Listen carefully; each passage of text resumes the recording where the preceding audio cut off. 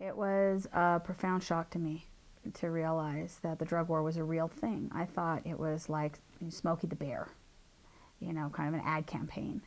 I didn't think it was real.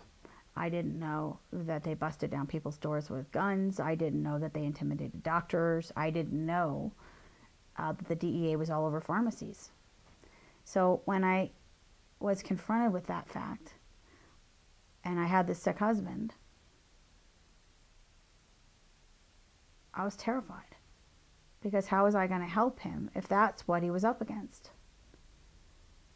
You know, that's a terrible thing to have to look at.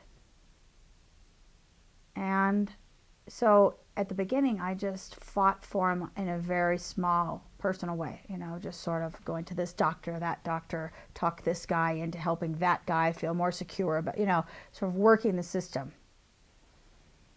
But as I did it and watched it and knew better and better what the realities were and saw, I think, on some level, what my husband's fate really was um, and what my son was going to suffer as a result.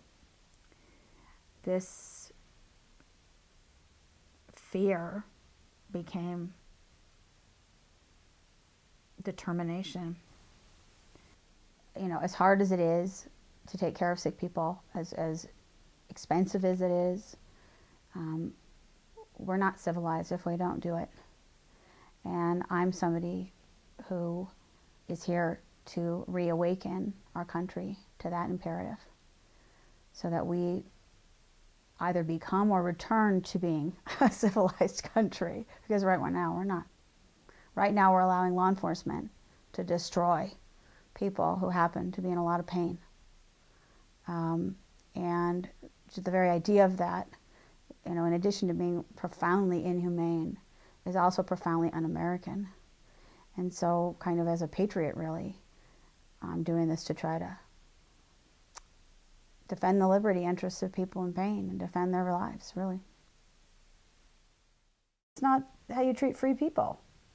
Grown-ups should be free to, to take what they need to take to get by. You know, they got families to support. They've got relationships to have. They got money they need to make. Uh, there's no reason why people should be forced to deteriorate and have their families dissolve and all their finances go out the window because drug warriors think that you should be able to tough it out. I mean, what is going on here? And it's such a profound denial of of the emptiness sometimes that I think we all face.